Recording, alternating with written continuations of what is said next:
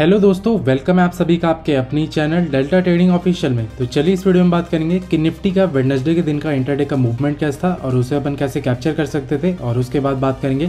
Friday के लिए intraday के लिए ऐसे कौन से इंपॉर्टेंट लेवल्स अपन को देखने को मिल सकते हैं, जिनके ब्रेकआउट या ब्रेकडाउन पे एक अपन को बहुत अच्छी ट्रेंडिंग मूव देखने को मिल सकती है। तो चलिए इस प्राइस एक्शन वाली एनालिसिस वीडियो को शुरू करते हैं। उससे पहले अगर आपने हमारे YouTube चैनल को सब्सक्राइब नहीं किया तो ज़रूर सब्सक्राइब कर ले, जहाँ पे आपको डेली निफ्टी और बैंक निफ्टी के प्रेडिक्शंस की वीडियो मिलती है। और साथ में हर सैटरडे को हम वीकली एनालिसिस डालते हैं निफ्टी और बैंक निफ्टी का, और संडे को क्रूड ऑयल की वीकली एनालिसिस और नेक्स्ट वीक के लिए इंपॉर्टेंट स्ट्रेटेजी के बारे में हम डिस्कस करते हैं। तो ऐसे एजुकेशनल कंटेंट के लिए हमारे यूट्यूब चैनल को ज़रूर दोस्तों, अभी अपन निफ्टी के फाइव मिनट्स के टाइम फ्रेम के चार्ट में और वेडनेसडे के दिन एक अपन को गैप अप ओपनिंग देखने को मिली थी, वो थी अराउंड 80 पॉइंट्स के आसपास की। उसके बाद अगर अपन देखेंगे तो हमें फ़र्स्ट 15 मिनट के रेंज के अंदर ही फ़र्स्ट हाफ़ हमें एक साइडवेज मोमेंटम करते हुए देखने को मिला था और उसके बाद एक हमें ये वाला एक छोटा सा स्कैल्पिंग मूव देखने को मिला, जिसको अपन इस ट्रेन की मदद से कैप्चर कर सकते थे, जिसमें कि हमें एक ट्रेन लाइन का ब्रेकआउट देखने को मिला, एक बज के दस मिनट वाली कैंडल से और वहाँ से अगली कैंडल एक रिटेस्ट होने के बाद एक अपन को स्कैल्पिंग मूव छोटा सा देखने को मिला अराउंड ट्वेंटी पॉइंट्स के आसपास का। उसके बाद देखेंगे तो फिर से हमें थोड़ा सा वॉलेटाइल मोमेंटम देखने को मिला और तीन बजे की कैंडल फिर से हमें एक ऊपर का मोमेंटम पर ऊपर के लेवल्स पे सस्टेन नहीं होने के कारण एक वापस हमें डाउन साइड का मूवमेंट लास्ट में क्लोजिंग के आसपास देखने को मिला और हमें क्लोजिंग देखने को मिली थी 22,732 के लेवल के आसपास की। तो अगर वेडनेसडे के दिन देखें तो एक तरीके से अपन को सिर्फ़ साइडवेज मोमेंटम देखने को मिला है क्योंकि जो ट्यूसडे की रेंज थी उसी के अंदर हमें मोमेंटम करते हुए देखने को मिला है। अगर ट्यूसडे की रेंज का ब्रेकआउट या ब्रेकडाउन करता तो एक हमें अच्छी मूवमेंट देखने को मिल सकती थी।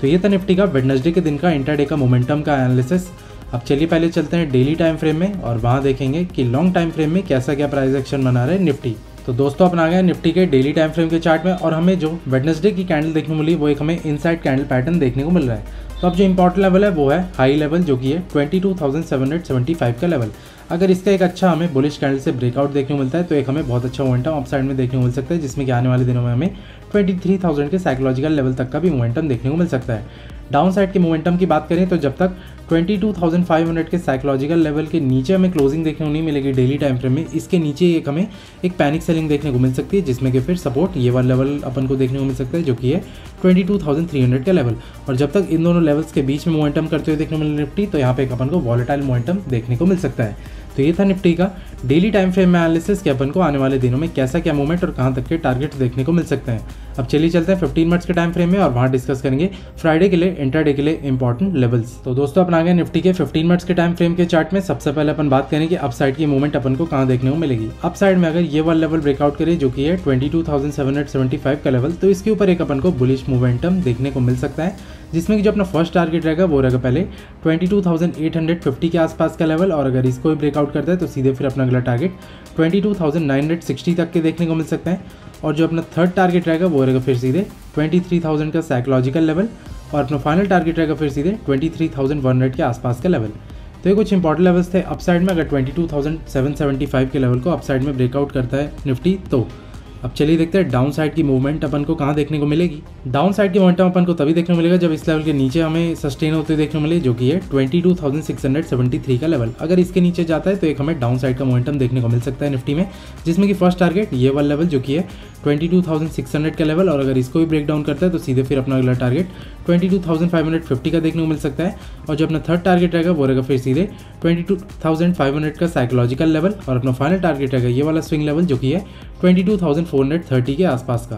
तो ये कुछ इंपॉर्टेंट लेवल्स थे डाउन साइड में अगर 22,673 के लेवल को डाउन साइड में ब्रेक डाउन करता है निफ्टी तो अगर निफ्टी इस रेंज में मोमेंटम करे जो कि ये वाले हैं तो यहाँ पे एक अपन को साइडवेज मोमेंटम देखने को मिल सकता है और ऐसे साइडवेज मोमेंटम में अपन को सिर्फ़ प्रीमियम डिके ही देखने को मिलेगा। तो इसीलिए ऐसे जोन में ट्रेड करने से बचे और किसी डायरेक्शनल मूव के लिए या तो पहले अपन इस लेवल के ब्रेकआउट होने के वेट करेंगे जो कि है 22,775 का लेवल अप साइड में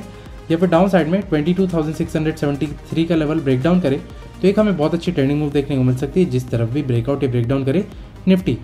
अब चलिए देखते हैं कोई इंपॉर्टेंट ट्रेड लाइन बन के आ रही है तो उसे भी पर मार्क करने की कोशिश करेंगे। डाउन साइड से एक अपन को ट्रेल लाइन बनती हुई देखने को मिली जिसको अगर अपन इस पॉइंट से बनाना शुरू करेंगे और ऐसे एक्सटेंड कर देंगे तो एक अपन को बहुत अच्छी ट्रेड लाइन डाउन साइड में बनती हुई देखने को मिल रही है। तो अगर इस ट्रेंड लाइन का ब्रेकडाउन करें साथ साथ twenty two thousand six seventy three का लेवल भी ब्रेकडाउन हो तो एक अपन को बहुत अच्छी ट्रेंडिंग मूव डाउन साइड में देखने को मिल सकती है। तो इस इंपॉर्टेंट ट्रेंड लाइन को आप अपने चार्ट पे ज़रूर मार्क करें। तो उम्मीद करता हूँ कि आपको लेवल्स और एनालिसिस समझ में आएगा और आप इन लेवल्स को अपने चार्ट पे मार्क करके रिस्क मैनेजमेंट और मनी मैनेजमेंट के हिसाब से एजुकेशनल यूज़ के लिए मार्क करेंगे। हमारे फ्री एजुकेशनल टेलीग्राम चैनल को भी ज़रूर ज्वाइन करें, जहाँ हम इंटरडे के लिए लेवल्स टेनलाइंस और एजुकेशनल चार्ट्स पोस्ट करते हैं। तो हमारे फ्री एजुकेशनल टेलीग्राम चैनल को भी ज़रूर ज्वाइन करें। और अगर ये वीडियो पसंद आए तो वीडियो को लाइक करके चैनल को सब्सक्राइब कर लें। मिलेंगे अगले वीडियो में। तब तक के लिए जय हिंद, जय भारत।